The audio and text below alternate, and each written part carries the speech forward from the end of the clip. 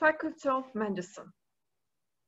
Afyonkarahisar Health Sciences University, Faculty of Medicine was founded on March 26, 1998.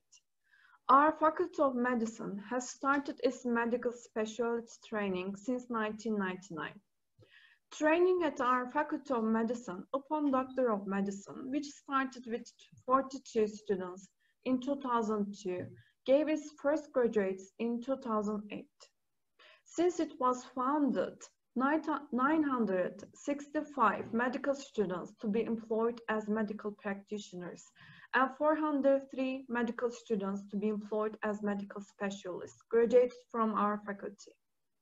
Currently, our training and instruction keeps on with 1,036 Faculty of Medicine students and 195 medical specialty students. Our instruction, research and health services are carried out in our institution, taking part in Zafer Health Complex, in which the service is rendered to public with 534 service beds and 95 intensive care beds are carried out with a total of 361 academic staff, 575 nurses, and approximately 1,923 administrative staff.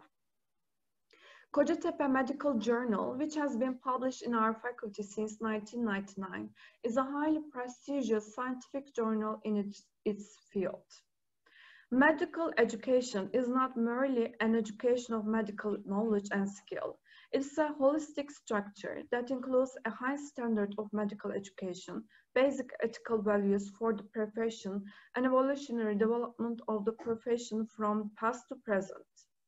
The vision of AFSÜ Faculty of Medicine is to become a reference faculty with the projects presented and realized at the national level, which constantly enhance the quality of education, research and healthcare services, performing at international level, produces technology-supported solutions in the fields of knowledge management and education as a respected institution of the scientific community, persistently renews itself, becomes pioneers in innovations and emerge as an institution in which transparent, participatory, and me measurable institutionals as has been developed.